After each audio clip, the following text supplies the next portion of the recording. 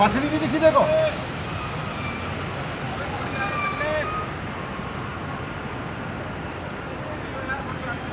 कहाँ गाड़ी लगी आगे